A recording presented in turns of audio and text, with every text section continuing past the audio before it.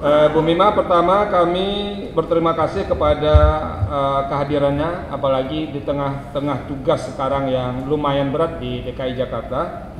Yang kedua, kami tim seleksi mengucapkan selamat kepada Ibu Mima yang sudah lolos ke tahap wawancara, tahap terakhir di tangan tim seleksi, dan itu artinya Bu Mima Susanti sudah menyisihkan sekitar 200 orang hanya tinggal 22 uh, eh, untuk calon anggota Bawaslu RI. Ibu siap ya kita apa diskusi mendalami segala macam hal hari ini? Siap. Uh, apa perlu waktu untuk berdoa? Sudah. Sudah berdoa. Oke. Okay. Uh, eh, pertama kita minta kepada Pak Niko untuk mendalami segala sesuatu hal terkait dengan Ibu Mima. Pak Niko dipersilakan. Baik, terima kasih Pak Ketua uh, Ibu Mima. Uh, selamat Eh, sampai tahap ketiga ini saya mau mulai dari uh, makalah pribadi Ibu Mima uh, di halaman 5 Ibu menulis uh, saya berkeyakinan saya memiliki angka 100% atas integritas tapi kita juga dapat laporan banyak termasuk juga uh, apa catatan-catatan yang ada di tim sel mengenai kasus-kasus yang uh, pernah membelit ibu gitu ya. Jadi ibu gimana bisa menjelaskan 100% dengan banyaknya eh, kasus ataupun juga laporan tersebut? Kalau seandainya ada laporan ke saya terkait dengan integritas saya, izinkan saya tahu terkait apa aja. Saya akan menjelaskannya dengan sebaik-baik. Enggak Bu, ini ini yang umum dulu, yang Ibu rasakan saja Bu.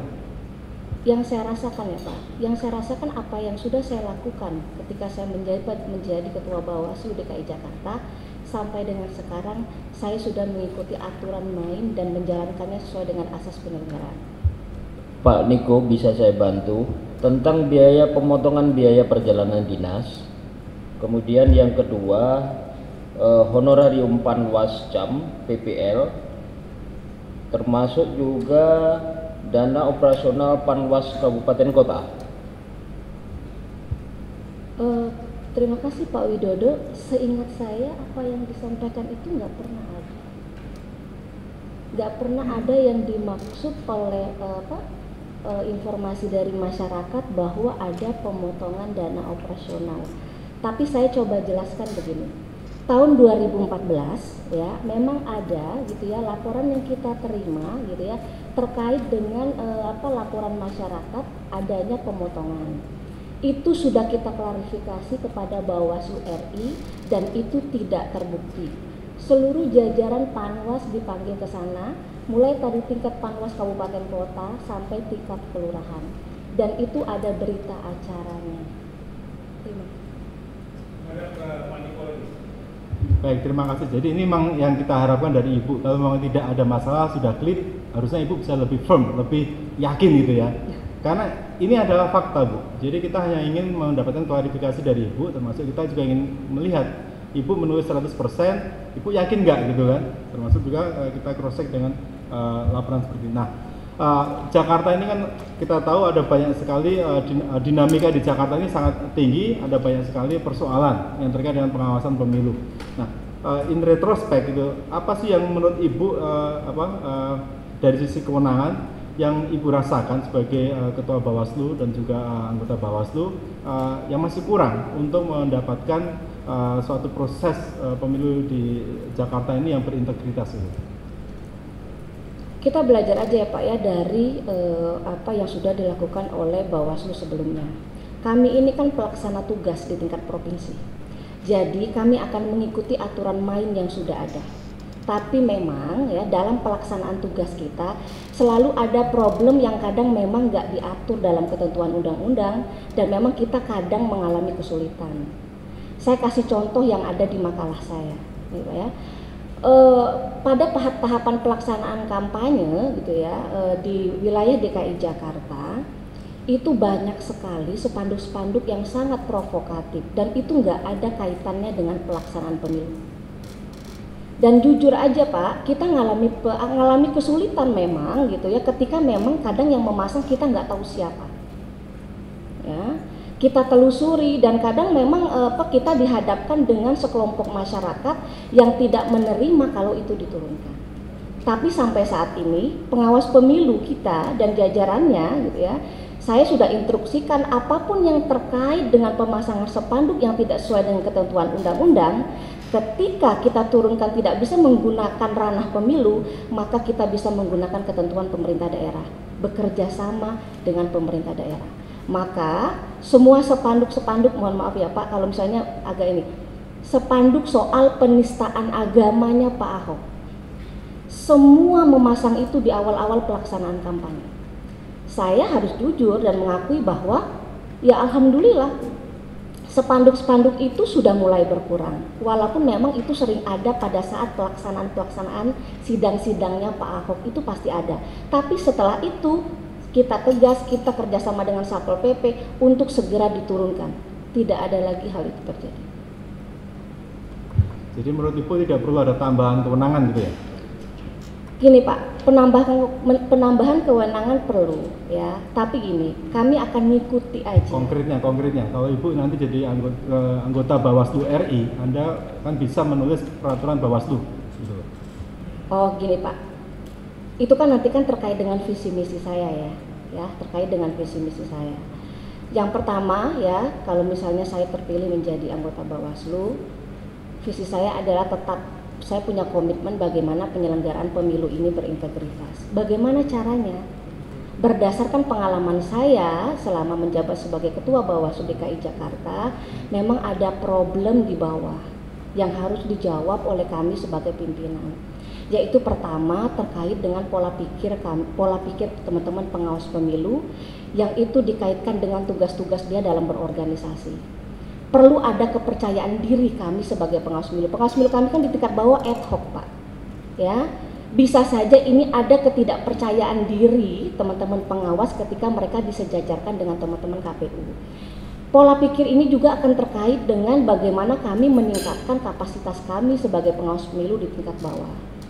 Yang kedua, ada problem memang di tingkat bawah, teman-teman ini kok sulit sekali gitu memberikan laporan hasil pengawasan yang itu dengan validasi data yang valid.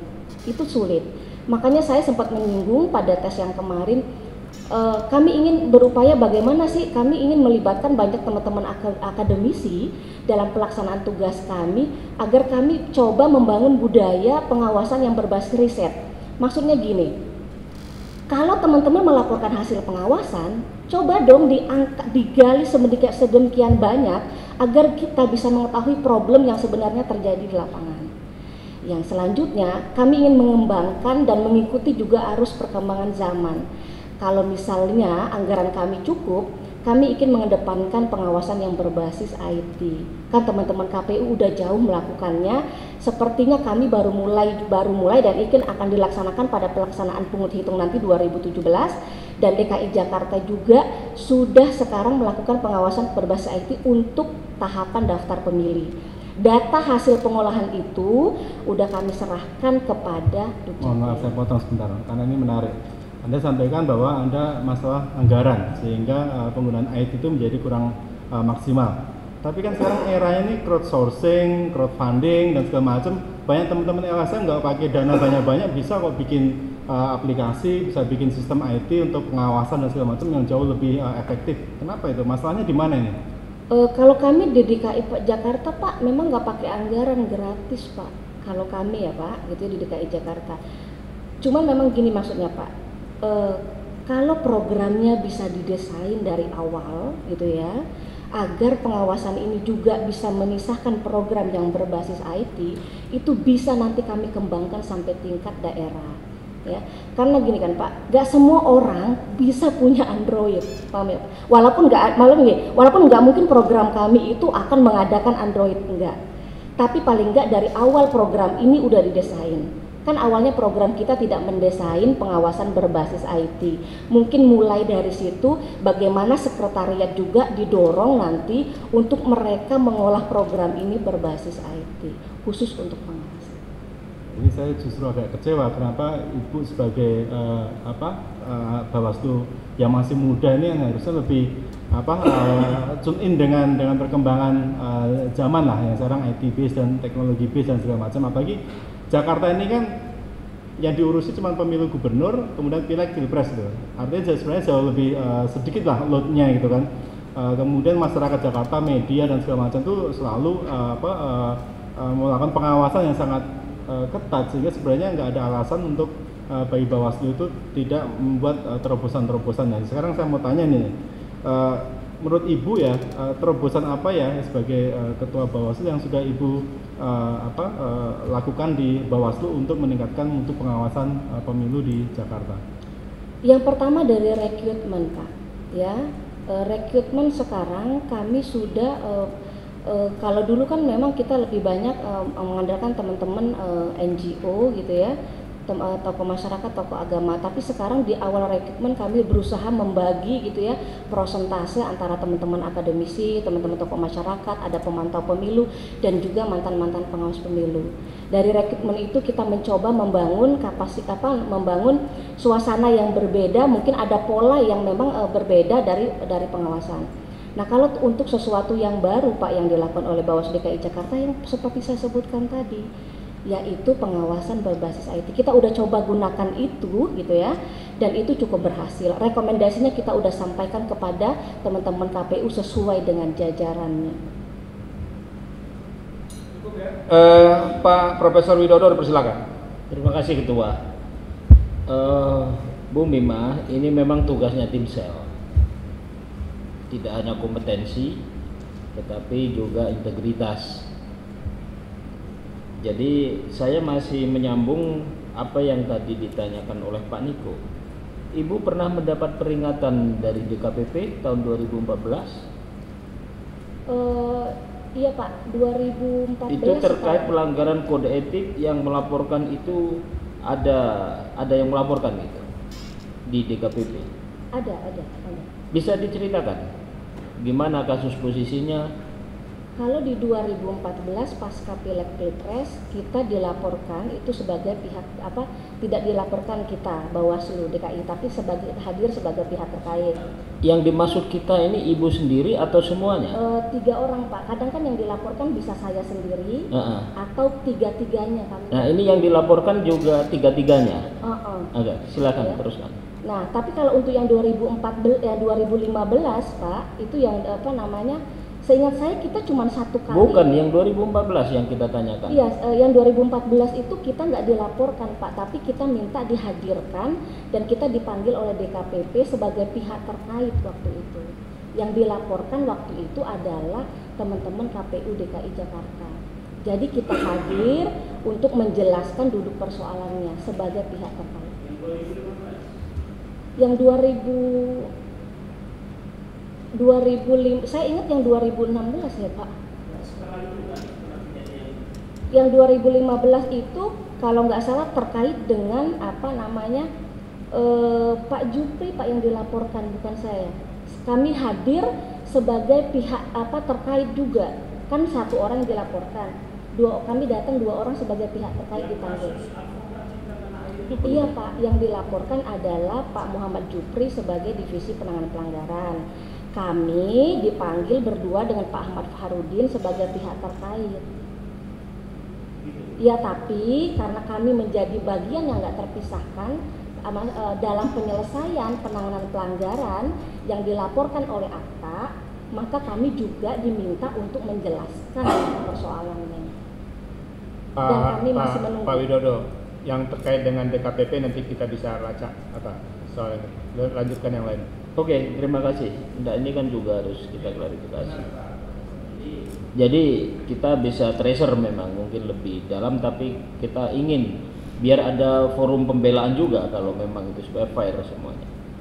Uh, juga termasuk potongan-potongan itu bu, yang ke Panwascam itu juga ada laporan-laporan itu. Iya Pak, itu kasus 2014 memang ya kita dikira memotong tapi kan kita sebagai pimpinan tidak mengetahui dan itu sudah diklarifikasi dan saat itu Bu Endang Widianti sebagai pimpinan yang mengklarifikasi Oke, okay. oke. Okay. Uh, eh, Bu Mima, ini banyak sekali kandidat-kandidat yang luar biasa nih, wanita-wanita juga ini, mulai dari hari pertama, hari kedua, sekarang hari ketiga, yang juga mendaftar di posisi Bawaslu. Supaya ada pembeda dan yakinkan kita dari aspek kompetensi misalnya bahwa saudara mampu untuk ditempatkan diberikan kepercayaan di posisi bawah ditunjukkan apa keunggulan Ibu Mima selama ini memimpin Bawaslu DKI Jawaban ini sama, saya masih ingat jawaban saya ketika saya ditanya kemarin oleh uh, salah satu tim uh, pewawancara. Saya bilang uh, saya nggak sombong, tapi apa yang saya sudah lakukan di 2014 dan sampai saat ini menuju 2017 bahwa kami sebagai penyelenggara pemilu bisa bersama stakeholder pemilu DKI Jakarta udah bisa menyelenggarakan penyelenggaraan pemilu yang aman damai kalau ukurannya itu saya kira ukuran subjektif. Kondisi Ahok sekarang kondisi yang tidak aman damai itu posisinya. Kalau ukurannya itu, saya pegang ukuran ibu ini. Uh, Pak, kalau Pak Ahok kan nggak bisa kita kait ini. Kita berusaha memang tidak mengkaitkan problemnya Pak Ahok dengan problem penyelenggaraan pemilu DKI Jakarta tapi karena waktunya bersamaan dengan penyelenggaraan eh, kampanye DKI Jakarta, maka dia nggak bisa dipisahkan. Nah, saya gini, kita sudah berusaha melakukan pencegahan loh Pak. Pencegahan kan bukan sesuatu yang bisa diliput oleh media. Media kan senangnya meliput penindakan. Ya. Bagaimana kita gitu loh melakukan apa eh, komunikasi persuasi dengan teman-teman di lapangan dalam hal ini tim kampanye gitu ya untuk bisa menahan dirinya tidak melakukan hal-hal yang bisa mengganggu proses pelaksanaan kampanye. Kita berusaha gitu loh agar mereka tidak membawa atribut apa pun dalam pelaksanaan saat mereka sidang di uh, ketika mereka ingin hadir dalam pelaksanaan sidang Pak Ahok. Ya, sidang kedua itu berhasil Pak karena saya langsung diminta untuk komunikasi dengan tim kampanye. Teman-teman minta saya membantu. Oke dalam konteks pelaksanaan kampanye saya komunikasi. Tapi kan ada protes nih dari teman-teman tim kampanye dan e, para pendukungnya Pak Ahok. Gak adil kalau kami tidak boleh juga menyampaikan kebebasan pendapat kami sedangkan yang lain itu boleh. Oke berarti tidak boleh ada anarkisme di lapangan ya atau mereka membawa atribut kampanye yang itu seolah-olah itu kegiatan kampanye. Atribut kampanye berkurang, Pak. Tapi sepanduk-sepanduk yang mengarah kepada yang di luar kampanye itu kan banyak muncul. Jadi ini kewenangan yang kita sulit ambil sebagai pengawas pemilu. Makanya kami berharap memang kepada teman-teman kepolisian, kepada teman-teman apa namanya uh, intelijen gitu kepada teman-teman yang memang selama ini kok masih berharap begitu selama ini forum gakumdunya nggak jalan? Uh, kan kok, ada, kok ibu masih berharap? kan nggak ini kan nggak ada kaitannya dengan pelaksanaan penanganan pelanggaran pak. Ini dalam konteks pencegahan. Jadi penghadangan orang kemudian tahapan-tahapan itu tidak ada sama sekali pelanggaran-pelanggaran itu? Oh, tadi yang saya sampaikan adalah sesuatu yang berbeda yang saya sampaikan adalah situasi politik uh, simpatisan yang mendukung Pak Ahok dalam sidang. Tapi soal penghadangan itu kan berbeda. Di DKI Jakarta itu ada 13 titik yang diduga gitu ya, paslon nomor 2 ini dihadang dalam kegiatan kampanye. Dari 13 titik itu sudah ada yang kita kita temukan, kita jadikan temuan pengawasan, tapi kita panggil para pihak atau saksi tidak hadir. Makanya kita mendorong agar teman-teman tim kampanye paslon nomor 2 untuk lebih lebih melaporkan kepada kita. Karena temuan ini kita selalu tidak hadir gitu Pak saksi yang kita panggil.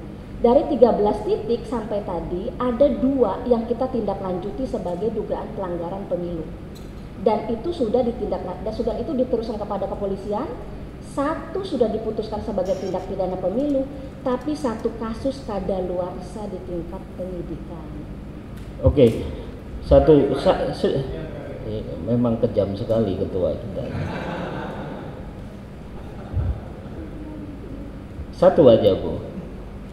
Komitmen ibu tentang eh, pejabat-pejabat uh, publik yang harus melaporkan harta kekayaannya ke KPK bagaimana? Pandangan ibu? Ya saya setuju pak saya setuju, saya punya komitmen itu harus dilakukan. Ibu sudah mendaftarkan laporan harta kekayaannya ke KPK selama ini menjabat di Panwaslu DKI di Bawaslu DKI Kemarin saya nggak sempat konfirmasi Pak, karena Mhm. seingat saya sudah pernah itu disampaikan kepada sekretariatan. Eh, jadi Bel- belum ada konfirmasi Oh, oh, apa saya jadi eh, nggak sempat kemarin itu kapan lagi. Bu hari kemarin ini Bukan Pak, kemarin, kemarin, kemarin. Kem- ke- kemarinnya Senin berarti ya sekitar itu deh. hari Senin Senin Januari kemarin kan sekarang eh sekarang kan Jumat Kamis Rabu Oh, ya kayaknya Pak. kayaknya hari Rabu Iya. kemarin ya Karena kan memang eh, kemarin kan pajak-pajak sudah kita saya sudah saya minta kepada Hmm. sekretariat. Pajak-pajak saya sebenarnya sudah dibayarkan negara apa aja sudah diperintahkan sama mereka gitu Hmm. supaya kan ini kan kuat saya khawatir juga gitu nanti kan misalnya karena pejabat negara kita dianggap tidak membayar pajak itu sudah saya perintahkan semuanya. Iya. saran kita kalau itu hartanya disampaikan Bu ya dilaporkan itu terima kasih ketua Makasih Prof Widodo. Sekarang Profesor Hamdi Muluk. Bu Mima, ini mohon maaf ini, ya, tapi saya kira sebagai apa pejabat publik em, memang dituntut sesuatu itu jelas dan transparan saja. Mm-mm. Jadi, em, nah saya melihat di CV ibu status perkawinan pernah menikah. Bagi saya ini ambigu gitu. Sebab saya juga pernah menikah, yang lain juga pernah menikah. Cuma yang single sampai sekarang yang tidak pernah menikah, gitu kan ya. Jadi bagi saya tolong diklarifikasi ini maksudnya apa? Pernah menikah ya? Kita juga pernah menikah semua ini. Iya Pak, posisi saya sekarang apa eh, sudah tidak punya suami lagi. Oh iya, maksud saya yang jelas saja, yang tegas saja. Jadi kan tidak masalah itu, misalnya Iya. bercerai. Kan yang lazim itu ya bercerai mati gitu loh. Kan begitu saja. Ah itu gitu loh. Ah betul, saya merujuk yang normatif saja. Jadi nanti tidak ada pertanyaan macam-macam dari masyarakat. Ya. Oke, ah, Bapak, Ibu di sini tadi sudah bicara banyak ke kita bahwa DKI ini memang kompleks dan apa panas sekali. Di tengah situasi seperti itu, bagaimana Ibu menilai kinerja Ibu? Apakah menurut Ibu Ibu sudah merespon dengan maksimal atau kinerja Ibu sudah paling top begitu? Atau setengah begitu? Bagaimana Ibu menilai? Saya udah maksimal Pak. Ibu merasa sudah maksimal. Iya. Kalaupun banyak penilaian banyak pihak masih harus dievaluasi, ya saya harus menerima. Tapi yang saya sudah lakukan beserta pengawas kami di tingkat jajarannya itu sudah maksimal. Ah, bisa diberikan contoh yang deskriptif gitu di mana Ibu mengatakan saya sudah maksimal semua. Iya, soal penghadangan kampanye, kami kan dinilai tidak proaktif, ya, karena eh, apa eh, paslon nomor 2 ini, gitu ya, masih dihadang terus, ya Pak. Ini kan problem aturan juga, ya. Di satu sisi, gitu ya Pak, kami sebagai penyelenggara nggak bisa, gitu loh, apa namanya, membatasi orang untuk menyampaikan pendapatnya.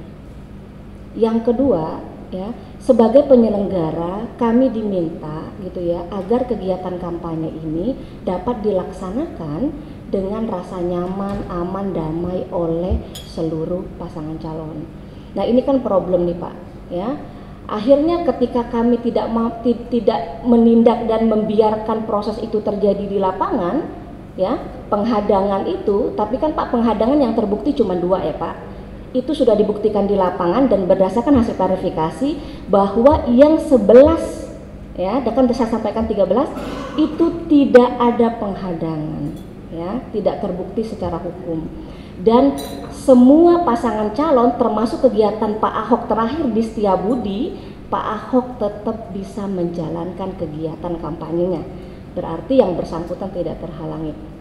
Nah, ini kan problem kami dianggap kami nggak punya kemampuan mengatasi bagaimana kegiatan kampanye itu berjalan aman damai. Tapi kami ingin menghargai bahwa ada kebebasan pendapat orang di situ. Yang penting bahwa yang bersangkutan tidak boleh gitu ya membuat situasi di situ jadi nggak kondusif. Di awal eh, kegiatan penghadangan itu kan eh, karena situasinya tidak aman, polisi itu menyediakan barak kuda di Jakarta Barat.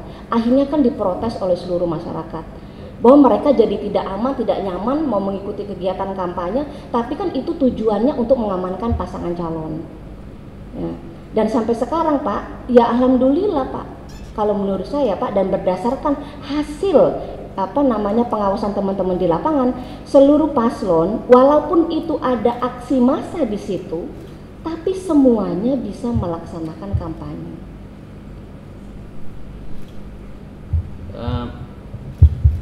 Apakah Ibu merasa soliditas di Bawaslu selama Ibu memimpin cukup bagus? Iya Pak, saya bisa bilang iya, ya, karena eh, kalau nggak solid Pak, ya, tentu saja kami akan mengalami kesulitan dalam informasi hasil pengawasan.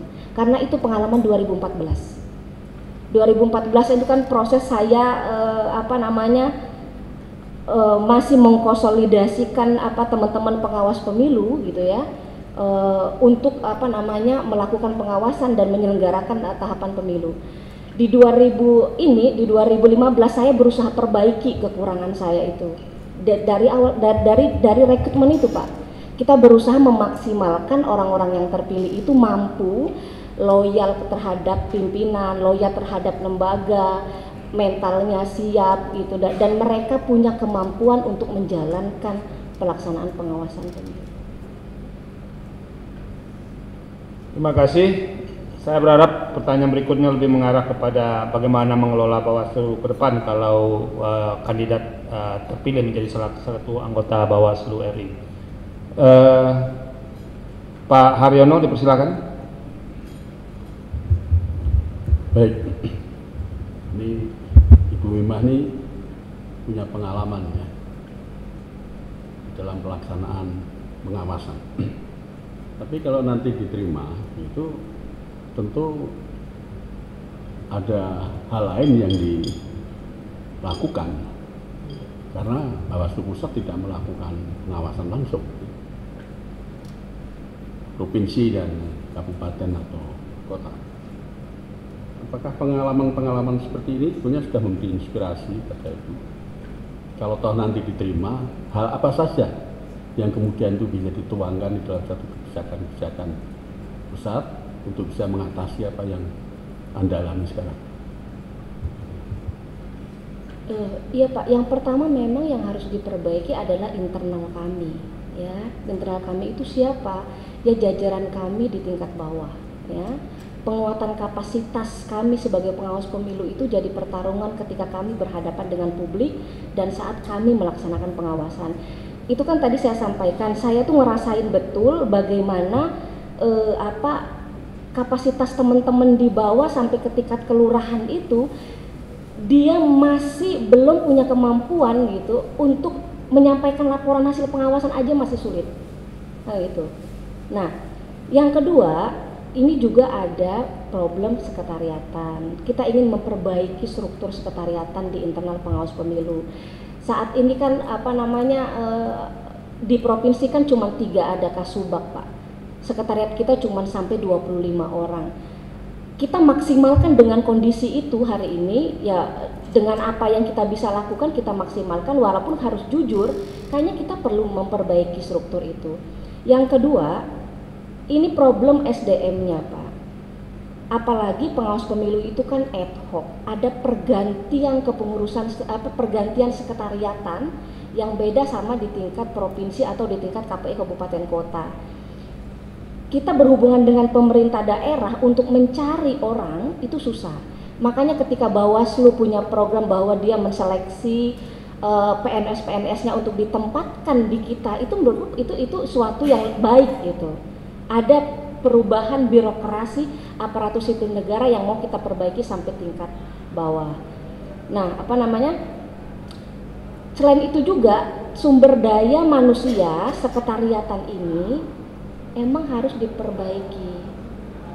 Berantem konflik di tingkat bawah karena ada ketidaksamaan cara pandang antara sekretariat dan pengawas pemilu maka itu berefek pada dukungan dan fasilitasi kami sebagai pengawas pemilu itu sekretariat nggak mampu menerjemahkannya. Dan itu baik dan itu saya harus akui terjadi juga di DKI Jakarta dan tidak memungkinkan di daerah yang lain. Konflik antar apa namanya eh, pengawas pemilu dengan sekretariat. Yang ketiga yang seperti saya sampaikan tadi sepertinya sekretariat juga harus mendukung atau mengubah pola uh, programnya dengan berbasis IT. Jadi nih, ketika kami pengen pengawas pemilu juga mencoba ada terobosan baru dalam pengelolaan pengawasan, maka sekretariat pun harus memberi dukungan kepada kami. Nah, ini ini ini selain problem pengawasnya, Pak, ada problem sekretariatan. Insya Allah kalau ini ber, bisa berkesinambungan dan dia punya kontrol gitu ya, itu lembaga pengawas insya Allah menjadi lebih baik. Itu bisa dikurangi atau diperbaiki dengan polisi-polisi yang diambil oleh yang diambil oleh Bawaslu pusat persoalan-persoalan itu? Eh, gimana Pak? Hal-hal yang anda ceritakan tadi, apakah itu bisa diperbaiki atau kalau masih berlangsung bisa dikurangi dengan satu pengambilan polisi dari Bawaslu pusat? Bukankah itu persoalan di provinsi dan di, di bisa Pak, kan nanti ada apa SOP-nya yang dibuat kan kita kan punya peraturan Bawaslu. Sementara itu belum Anda temukan untuk mengatasi hal-hal itu SOP-nya? Uh, eh, SOP-nya sudah ada Pak, cuma kita perlu perbaiki struktur di tingkat provinsi sepertinya.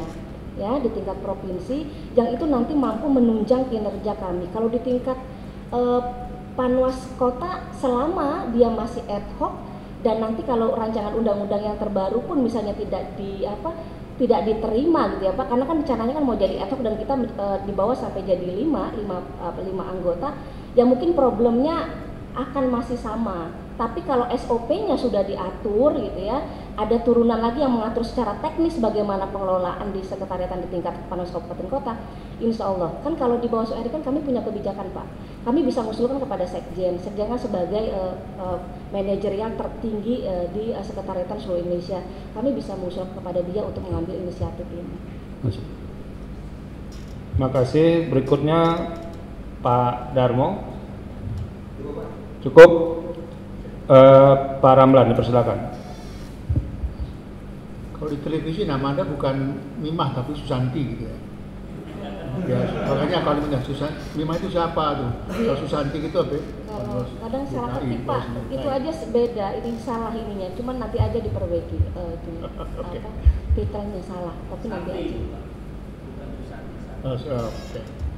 Terima kasih. Uh, ini Anda dari Bawaslu Provinsi mau ke Bawaslu Nasional yang fungsinya akan berubah ya dari kebanyakan teknis menjadi lebih ke kebijakan strategi gitu. Kan itu pertanyaan saya uh, tidak akan teknis tapi uh, lebih ke kebijakan uh, Bawaslu Nasional. Anda punya pengalaman uh, di pan, uh, Bawaslu DKI, uh, tapi Anda melamar ke tingkat nasional. Saya mau tanya, apakah apa perbedaan pola pelanggaran pemilu di DKI dengan pola pelanggaran pemilu Indonesia. Kalau Indonesia berarti eh, di tiga, tiga provinsi yang lainnya. Pola penanganan pelanggaran. Bukan pola pelanggaran pemilu. Oh, pola pelanggaran ya Pak. Gini-gini.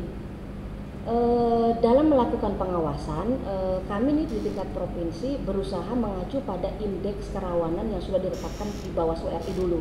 Itu menjadi apa namanya e, e, apa langkah awal kami untuk melihat pola e, di DKI Jakarta. Nah, saya kasih contoh gini Pak, untuk di tahapan pelaksanaan apa kampanye berdasarkan indeks kerawanan yang di uh, apa, di, apa yang dimunculkan oleh Bawaslu RI ada tiga hal yang memang jadi fokus kami. Yang pertama itu isu sara. Di awal pelaksanaan dan e, sebelum dan di awal pelaksanaan kampanye isu sara itu kan muncul di DKI Jakarta. Termasuk di 2014 soal e, apa namanya e, tabloid obor yang itu mengarah kepada Pak Jokowi. Yang e, Iya Sarah Pak. Yang kedua ini politik uang nih Pak. Politik uang Pak, walaupun sampai sekarang di DKI Jakarta yang baru kita temukan adalah enam pola, cuman memang modus-modus ini banyak tidak kami dapatkan informasinya. Nah, e, pola ini memang hampir sama Pak ya modus-modusnya. Misalnya dia pemberian kepada anak yatim, itu kan sering dilakukan. E, apa namanya? uh, ngasih bibit tanaman. Nah ini, ini polanya kayak gitu. Uh, ini hampir sama di seluruh daerah. Yang ketiga potensi keterlibatan aparatur sipil negara dalam pelaksanaan kampanye. Walaupun Pak 2014 nggak terbukti, ya, nggak terbukti secara hukum ya Pak, bahwa ada keterlibatan jajaran birokrasi untuk memenangkan salah satu pasangan calon, ya tapi itu punya potensi yang sama ketika misalnya hari ini Pak Ahok mencalonkan diri dan Pak Jarod mencalonkan diri sebagai petahana. Itu dibuktikan dari satu kasus walaupun di komisi aparatur sipil negara nggak terbukti Pak. Eh, Bahwa ada birokrat yang terlibat dalam pelaksanaan kampanye. Nah, Cuman ada satu Pak yang memang bukan beda. Ini di luar jangkauan kita dan di luar eh, kontrol kita dan itu nggak pernah terjadi dalam pemilu-pemilu di Indonesia. Yaitu tadi Pak, ada penghadangan kampanye. Nah ini ini ini jujur aja kita juga kaget, kita juga apa namanya mengalami kesulitan. Tapi ya semuanya alhamdulillah berjalan karena kita tegas aja di lapangan. Ya kalau udah sesuai aturan ya ikuti gitu. Kalau bisa jadi temuan kita panggil, kalau bisa dilaporkan ya kita tindak lanjuti sesuai dengan mekanisme Oke, secara nasional mana? Gimana Pak? Secara nasional pola pelanggaran pemilu secara nasional Indonesia. Ya itu Pak yang saya sampaikan tadi, ya hmm. Pak. Dia secara umum Pak, pola itu kan pola yang memang uh, sudah menjadi uh, indeks kerawanan secara nasional, walaupun secara khusus pola itu yang saya sampaikan tadi terjadi di DKI Jakarta. Hmm kalau misalnya pola politik uang uh, itu kan pernah terbukti dan struktur masif di sistem sistematis itu waktu kejadian uh, pola politik uang yang tim kampanye itu saya lupa daerahnya tapi itu terbukti dilakukan secara struktur yang dia apa dicatat Oke, kalau gitu, Pak. Pelanggar, pola pelanggaran Indonesia seperti itu kalau nanti anda terpilih jadi anggota Bawaslu nasional itu uh, kebijakan pengawasan yang akan Anda usulkan uh, ke Badan Pengawas Pemilu Nasional itu seperti apa?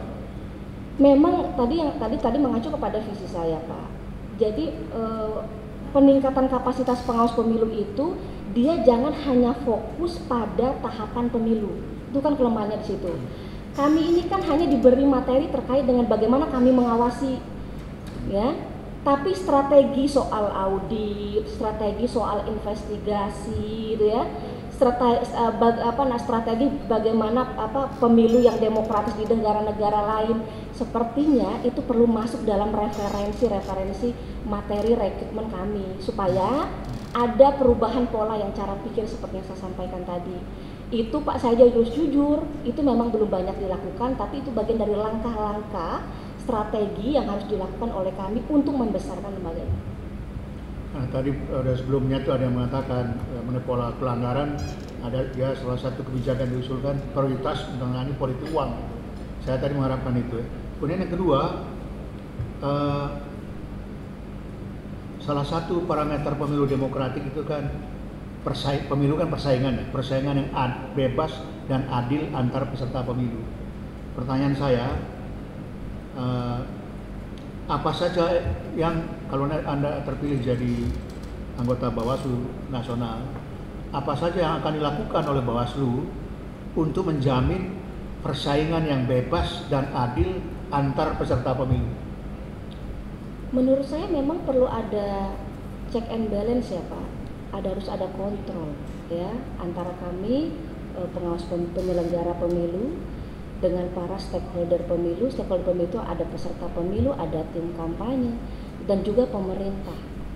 Ya, kami ingin apa namanya uh, apa uh, ke depan gitu ya.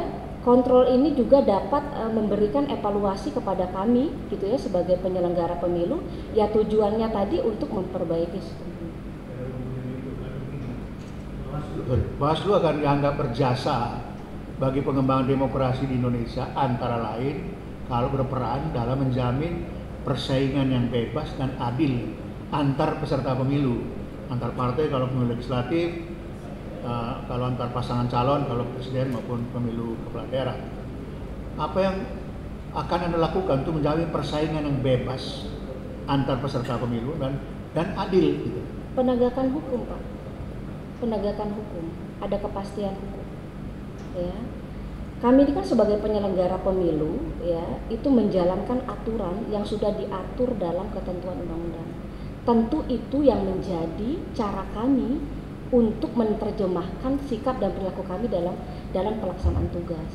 Selama kami bisa bersikap adil, transparan, dan apa yang kami lakukan dapat dipertanggungjawabkan dalam konteks ya pencegahan dan penanganan pelanggaran, kami rasa kami sudah berusaha fair dan berusaha adil dan berusaha apa tidak apa namanya memenangkan atau uh, apa berafiliasi dengan pasangan calon yang lain. Ibu Betty disilakan. Baik, Ibu Mima. Uh, saya tertarik tadi dengan uh, apa yang disampaikan oleh Ibu Mima bahwa uh, Ibu Mima ingin membangun budaya pengawasan berbasis IT, ya. Uh, dalam kaitan dengan itu bisa diceritakan apa yang saat ini sudah diterapkan dan apa yang nantinya akan diterapkan kalau Ibu terpilih sebagai salah satu uh, anggota Bawaslu RI. Iya. Kalau yang sudah kami lakukan itu kan Bu, kami uh, apa namanya melakukan cross check daftar pemilih DP4 kan daftar pemilih itu kan sumbernya DP4 gitu ya. Melakukan pengecekan pemilih ganda, pemilih pemula dan itu datanya sudah disampaikan kepada Dinas Dukcapil untuk perbaikan data pemilih. Dan untuk di tingkat pengawas pemilu, ya dari hasilnya itu kita sampaikan secara berjenjang. Jadi usulannya misalnya ditemukan 10 pemilih ganda, kita langsung rekomendasikan. Ditemukan pemilih yang misalnya sudah meninggal dunia, itu langsung direkomendasikan kepada KPU dan jajarannya. Itu itu pola kita. Jadi eh, apa namanya dan itu dilakukan di tingkat masing-masing kabupaten kota. Sistemnya kita serahkan kepada Panwas kabupaten kota. Jadi mereka sendiri dengan sumber daya yang ada, mereka kelola itu. Nah, untuk yang di tingkat e, nasional Bu, ya saya support gitu ya teman-teman e, pimpinan kami Bawaslu RI sekarang yang mau menggerakkan pengawasan partisipatif dengan berbasis IT yang untuk 2017 ini dengan menggunakan Android. Memang penggunaan Android ini kan Bu bisa mengalami kendala teknis. Gak mungkin dalam satu hari kita harus merekam semua kegiatan kan butuh power bank, butuh cas. Tapi secara teknis kita ingin memfokuskan yang pertama pada hasil penghitungan suara. Sehingga itu bisa langsung diupload ke dalam sistem yang kita punya. Yang kedua, kepada peristiwa atau kejadian yang itu nanti punya potensi dilaporkan kepada pengawas pemilu dan dilaporkan kepada Mahkamah Konstitusi. Biar kami, selain kami punya catatan hasil pengawasan, kami punya versi videonya sendiri ya. Yang ketiga, berita acara yang ada di uh, berita acara terkait dengan logistik yang ada di TPS. Itu tiga fokus yang ingin kami uh, apa nama kami tanamkan pada pengawas pemilu di tingkat TPS yang hari ini baru dilantik Bu ya. Kita nggak tahu di daerah lain, tapi hari ini baru dilantik sedekai Jakarta untuk apa pengawasan pemilu berbasis IT. Jadi IT-nya itu difokuskan untuk uh, merekam gitu ya uh, tiga fokus tadi.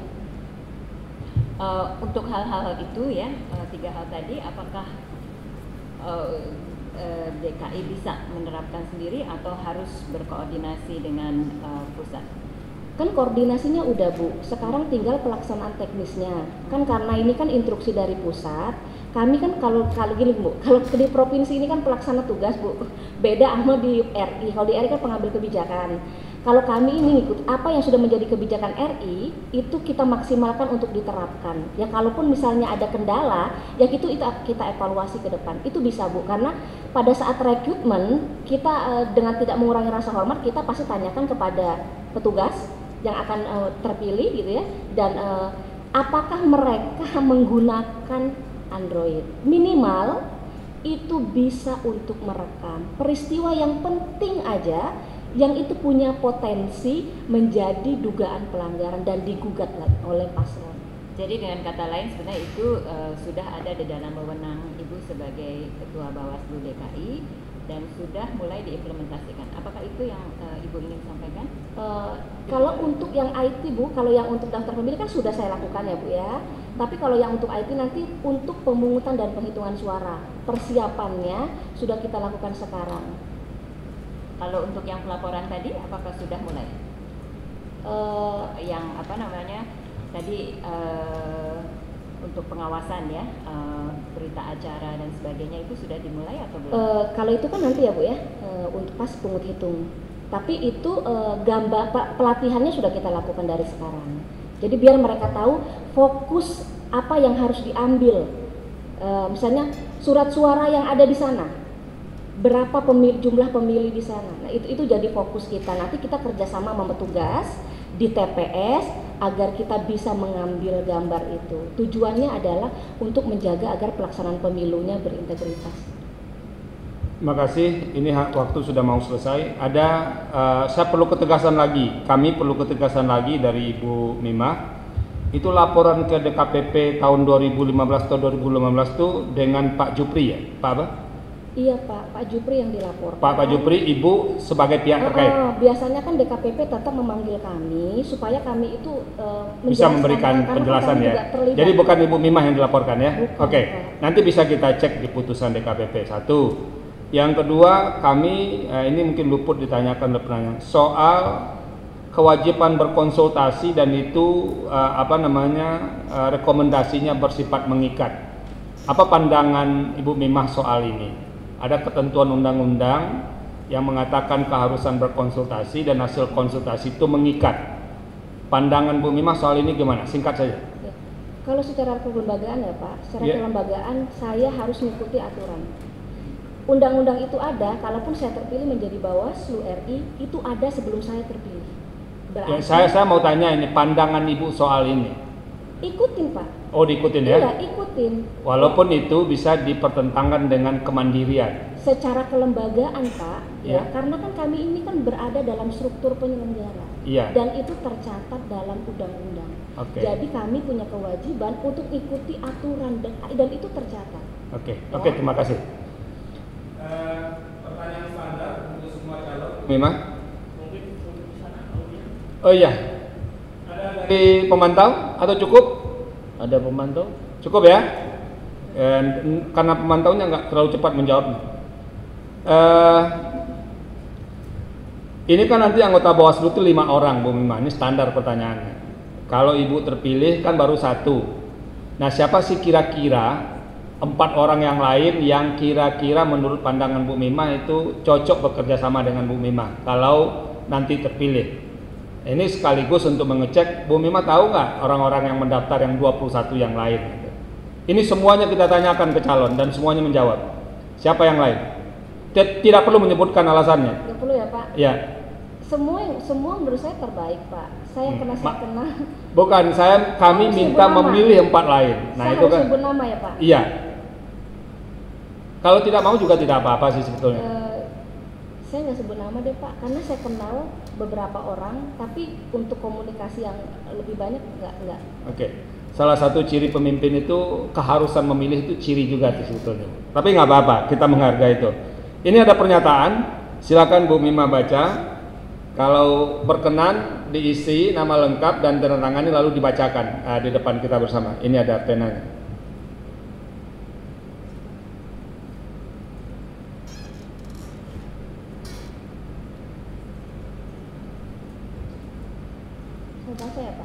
Diisi dulu baru dibaca. ya, ya. Ini baru pertamanya dari tiga hari kemarin uh, mengisinya pakai pena tinsel ini Bu.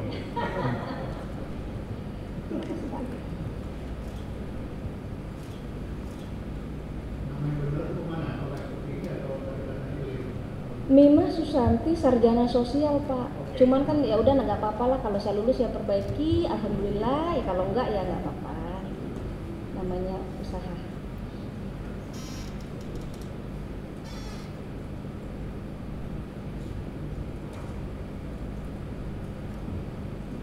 Saya tanda tanganin ya Pak, nggak perlu saya baca lagi ya Pak ya. Saya tanda tangan ya Pak. Ya.